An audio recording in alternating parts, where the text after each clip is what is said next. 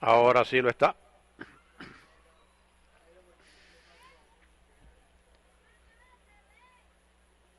Esperamos por la salida.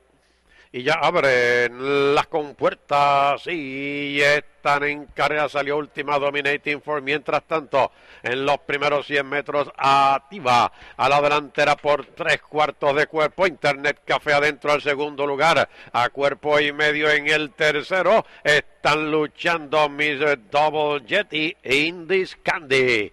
En el poste de los 800 activa un cuerpo al frente, Internet Café al segundo lugar, a medio Indiscandia al tercero, al pescuezo en el cuarto Miss Double Jet, a tres en el quinto, se coloca afuera Ron Binky Ron.